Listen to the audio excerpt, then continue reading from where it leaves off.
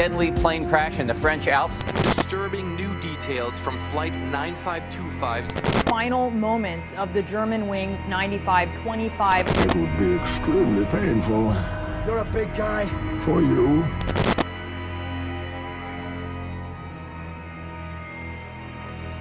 Привет, интернет!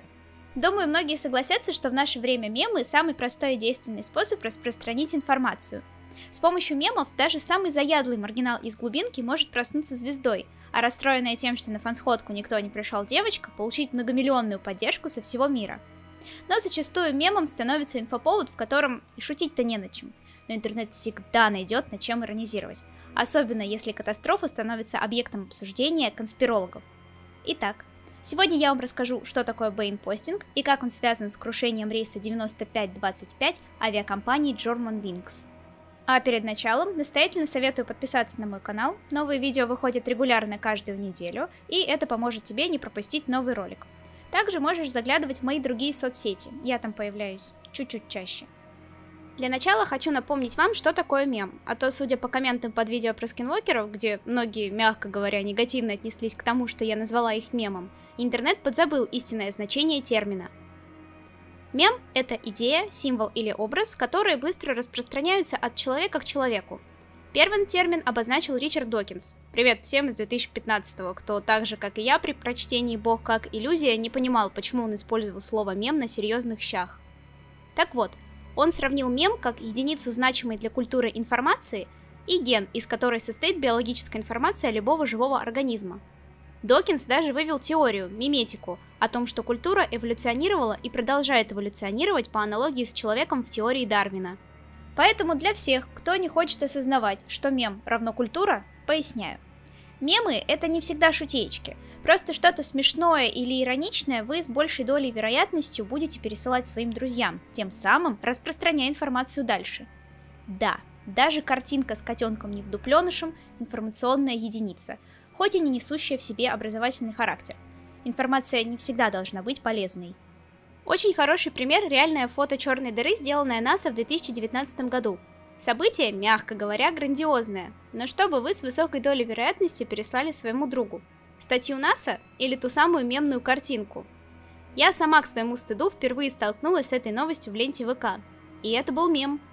Благо, моя заинтересованность астрофизикой направила меня читать новости.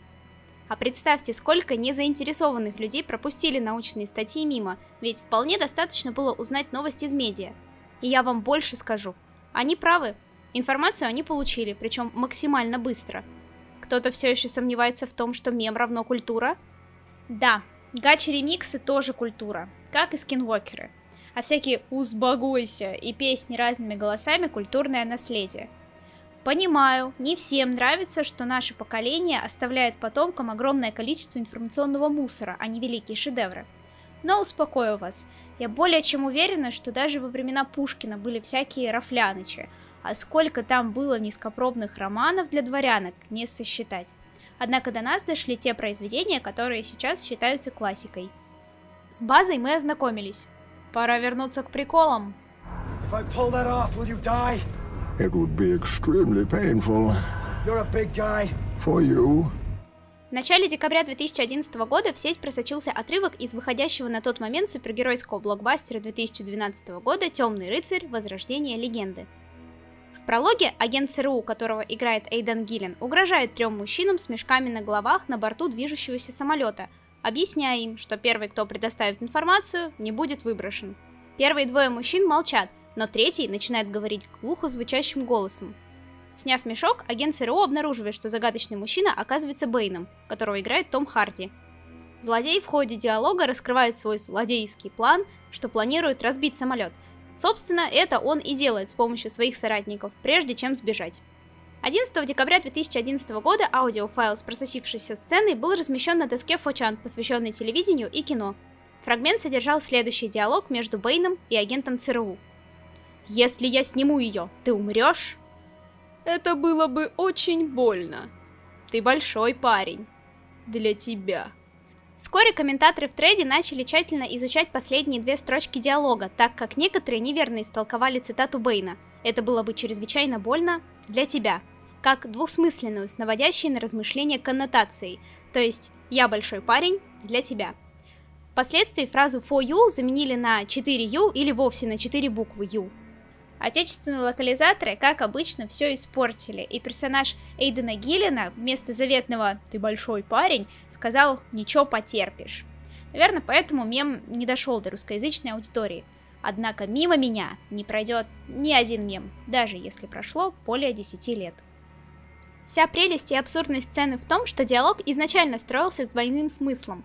Персонаж Эйдена Гиллина обозначается как безымянный агент ЦРУ, более того, он и есть собирательный образ самого агентства. То есть for you одновременно заканчивала первоначальную фразу Бэйна «это было бы очень больно для тебя», а вместе с этим продолжает фразу «ты большой парень, для тебя», тем самым давая понять, что ЦРУ он не по зубам, для них он большой парень. Однако из-за пафосности диалога люди в жизни так не разговаривают. И какого-то романтичного налета сцена в самолете стала мемом. Интернет любит гомосексуальный юмор, поэтому все, от ЕОщиков до фанатов Гачи, использовали бейн-постинг при любой подвернувшейся возможности.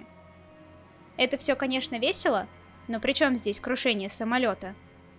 Для начала я все-таки введу вас в курс дела. 24 марта 2015 года в 10.01 по местному времени рейс 9525 компании Germanwings вылетел из аэропорта Барселона Эль Прат в Дюссельдорф, Германия – на борту находились 144 пассажира и 6 членов экипажа.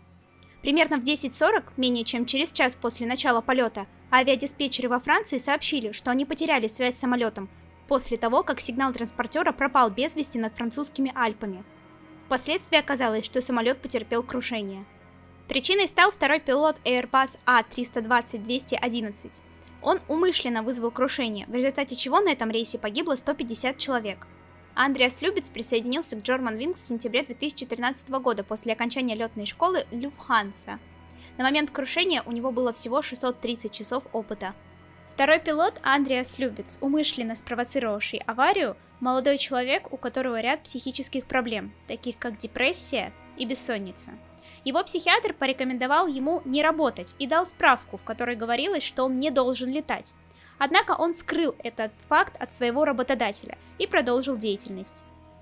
Хотя его семья, друзья и соседи описывали его как забавного и спокойного человека, расследование показало, что он серьезно страдает психической нестабильностью. Выяснилось, что на самом деле он спланировал аварию еще до полета, обозначив дату как «день принятия решения». Расследование также обнаружило в его доме множество записок, большинство из которых были психологически тревожными и вредными для здоровья. В день крушения он вел себя вполне нормально, делал все как обычно. Он и другой пилот самолета Патрик Зоденхеймер отвечали за полет. Они вылетели из аэропорта Барселоны и набрали крейсерскую высоту.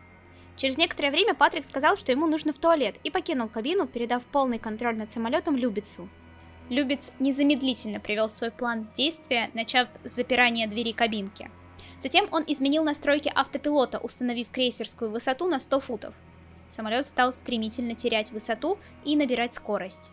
В этот момент французская служба управления воздушным движением заметила изменение высоты и попыталась связаться с пилотом. Любец не отвечал ни на одно предостережение службы УВД и продолжил снижение. Через несколько мгновений Заденхеймер вернулся из туалета, пытаясь открыть дверь кабины. Однако его код безопасности отклонился, и он не смог выйти – он пытался заставить Любица открыть дверь, но он не ответил ни на одно из его слов. В этот момент летный экипаж и пассажиры тоже поняли, что что-то не так, и что самолет начал терять высоту. Первая волна паники охватила пассажиров, но никто не знал, что делать. Самолет снизился примерно до 13 тысяч футов. В этот момент Заденхеймер все еще пытался открыть дверь кабины с помощью лома, который бортпроводник принес из задней части самолета, а Любец все еще не отвечал. Он надел на лицо кислородную маску и продолжил снижать самолет. На высоте 7000 футов на борту сработала сигнализация высоты, предупредив Любица о необходимости поднять нос самолета. Через несколько секунд на высоте 5000 футов правое крыло коснулось склона горы, в результате чего было подрезано. Airbus A320-211 снизился до крейсерской высоты всего 5000 футов с высоты 38 тысяч футов примерно за 8 минут. Всего через несколько мгновений самолет врезался в гору на скорости примерно 648 км в час. Он разбился в 100 километрах к северо-западу от Ниццы во французских Альпах. Выживших не было. Все 144 пассажира и 6 членов экипажа, включая Любица, погибли при столкновении. Через несколько дней после крушения пользователи на доске, посвященной бейнпостингу на Эйчан, начали замечать некоторое сходство между аварией и начальной сценой Темного рыцаря. Начнем с того, что полное название рельса FOU 9525. Напоминаю, в сети бейнпостинг сокращается как FOU. Сам Бэйн в той сцене, раскрывая свой план агенту ЦРУ, поделился, что его цель обрушить самолет без выживших. Собственно, такой же план был и у второго пилота Джорман Винкс а ближайшая к месту крушения деревня называется Диль-Лебейн. Но на этом совпадения не заканчиваются. Для дальнейшего объяснения мне снова придется сделать небольшое уточнение. Ни для кого не секрет, что каждая видеозапись, будь то бумеранг дамочки из кальяны или полнометражный фильм, состоит из определенного количества кадров. Стандартное значение на сегодня 24 кадра в секунду, но на самом деле там 23,976 кадров – так вот, если мы возьмем самый обычный 90-минутный фильм, то он будет содержать в себе примерно 130 тысяч кадров. Если верить сайту IMDb, то «Темный рыцарь. Возрождение легенды» длится 2 часа 44 минуты 32 секунды. То есть в третьей части «Темного рыцаря» 9872 секунды или 236 691,07 кадра. Идем дальше. Открывающая сцена в самолете от начала и до конца самой сцены длится 6 минут 37 секунд и 300 миллисекунд, или 397,3 секунды. Умножаем на 23,976 и получаем 9525 кадров или 95-25. Если это кажется вам притянутым за уши, то я скажу больше. Эксперты из Фочана в своих расследованиях докопались до всего. Например, фразу никому до меня не было дела, пока я не надел маску, Пейн сказал на третьей минуте 24 секунде фильма. Катастрофа произошла 24 марта, или, если переводить на американский манер, 3.24. Вокруг катастрофы и фильма есть множество других совпадений. Самолет упал в 150 километрах от ресторана Фою. Кстати, в тот день погибло 150 человек. Данный инцидент включает в себя множество других совпадений. Одни настолько бредовые, что вся теория о связи бейнпостинга и крушения рейса FOU 9525 выглядит как злая шутка. Другие же настолько филигранно вписываются в детали произошедшего, что становится жутко. Я не верю в подобного рода заговоры, ведь некоторые пользователи на полном серьезе утверждали, что Нолан знал о надвигающейся трагедии и таким образом пытался предостеречь народ. Но вот я не понимаю, что, по их мнению, мешало режиссеру Провицу напрямую обратиться в авиакомпанию. Мне это чем-то напомнило теорию о связи фильма «Назад в будущее» и 11 сентября. Только вместо крышесносной конспирологии я вижу лишь хорошую попытку найти совпадения там, где их изначально не было и быть не должно. Крупные трагедии, особенно совершенные не по случайности, а злоумышленно, всегда привлекали к себе особое внимание. Тут вам и злодей, и жертвы, и куча других сломанных жизней за кадром. Винить в падении FOU 9525 в первую очередь стоит авиакомпанию, которая упустила факт недопуска Андреаса к работе от психиатра. Хотя, скорее всего, в то время не существовало механизма контроля за психическим и физическим состоянием пилотов. Однако факт того, что в наше время подобные случаи сошли на нет, внушает спокойствие. Как обычно, для того, чтобы какой-то аппарат безопасности начал работать, сперва должна произойти масштабная катастрофа. А мемы будут всегда. Всегда найдутся те, кто видит что-то забавное в трагедии других людей. Кому-то же таким образом будет проще пережить личное горе. А третьи будут одержимы абсурдными теориями, без злого умысла. Напишите в комментариях, что вы думаете по этому поводу. Я еще напоминаю про лайк и подписку. Также можете заглянуть в описание, там помимо материалов к видео вас будут ждать мои другие соцсети. А я, как обычно, не прощаюсь.